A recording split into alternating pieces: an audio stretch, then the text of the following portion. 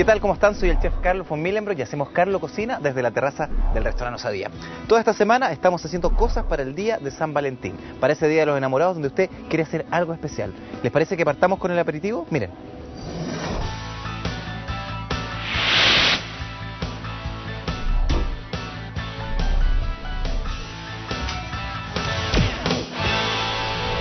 Lo que he tenido la precaución es de comprar unos cortapasta, como los que tengo yo aquí, obviamente con forma de corazón.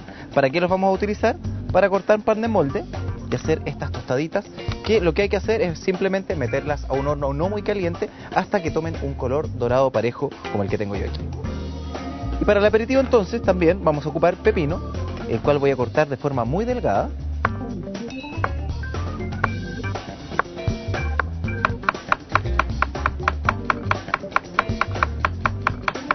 Tenemos entonces el pepino ya cortado, tenemos nuestras tostadas y vamos a hacer el siguiente ejercicio. Unos pocillitos así, más o menos chiquititos, en esos que usted pone la mantequilla o un platito pequeño de taza de café, también nos viene bien. Pero antes vamos a abrir nuestra champaña. Ahí, ahí sacamos su cápsula. Y media, cinco y media. Y abrimos.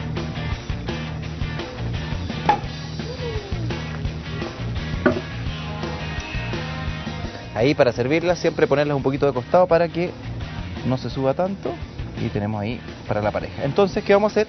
Este aperitivo lo vamos a montar sobre la copa, miren, así. Pongo ahí un pocillo y el otro ahí, que queden bien asentados, ya, para que no vayamos a tener algún accidente. Y vamos a poner entonces las dos tostaditas debajo. Voy a cortar una lámina de quesillo. Pongo el quesillo entonces Vamos a cortarlo así en cuatro. Los cortamos así, los vamos montando uno sobre otro.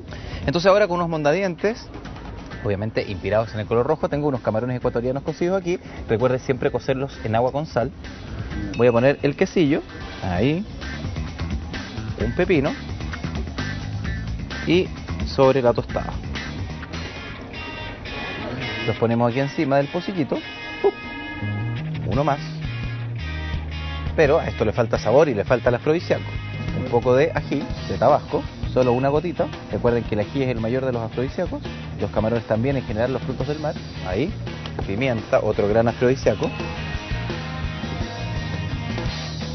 Un toquecito de sal. Vamos a invitar una hierba aromática que me encanta, que es un poquito de estragón. No conforme con aquello, otro afrodisíaco, jengibre jengibre en polvo y para terminar un toquecito de aceite de oliva. Un aperitivo afrodisíaco que veo aquí en Carlo Cocina.